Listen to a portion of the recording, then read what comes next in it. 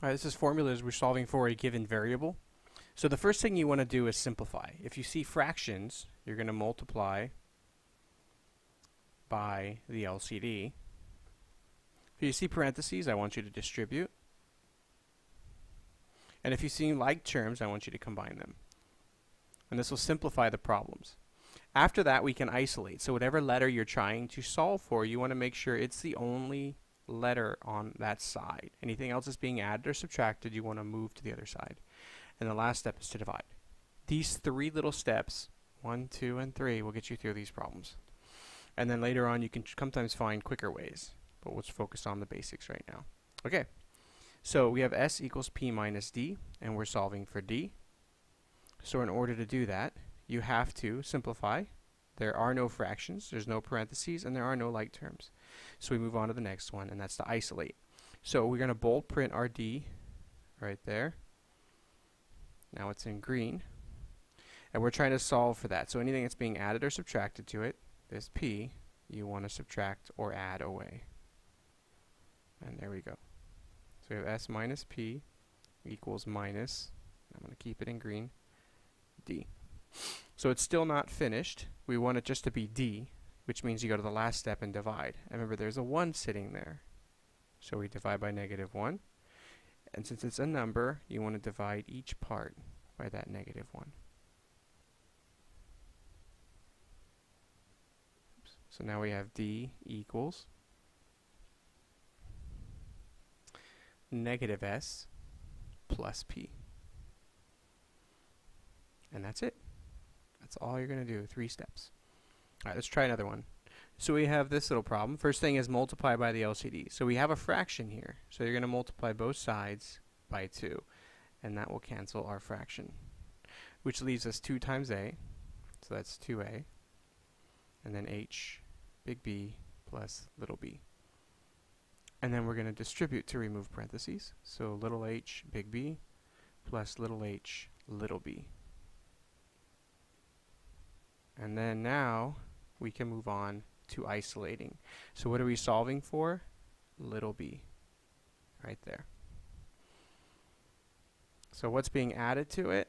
This. So we put minus h big B, minus h big B. And you notice these are not like terms. That's why I'm not combining them. I'm just rewriting them. If you have another colored pencil, this would be great to use, or pen.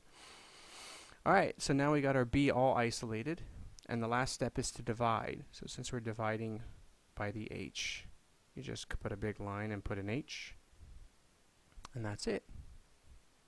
We now have B all by itself, and that's our main goal.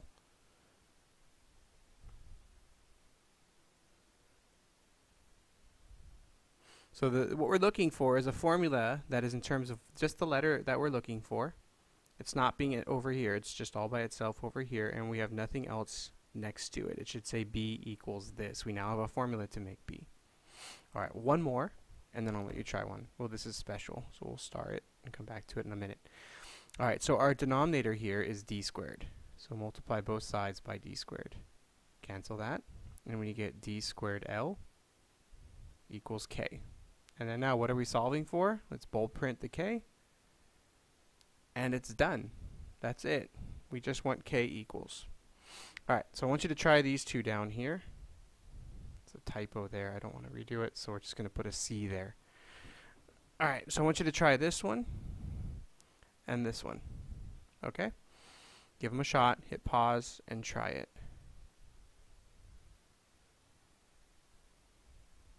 And that's what you should have gotten for your first one. Let's try the next one. And this should be your answer for the second one. Alright, now for this one. I'm going to show you why this one's special. So if, if you notice, it's all simplified.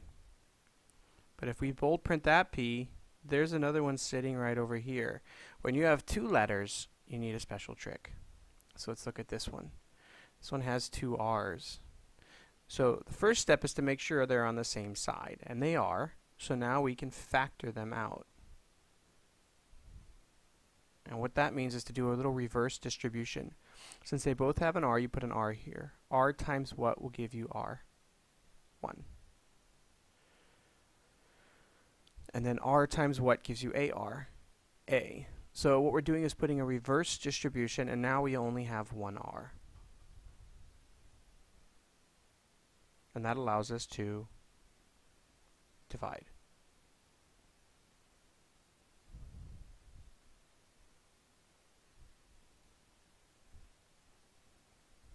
So that's our answer. Alright, so give that last one a shot. So remember, same side, factor it out, and then check your answer by reverse distributing, and then divide. So give that one a shot. Hit pause now. And there you go. That's your answer. Thank you.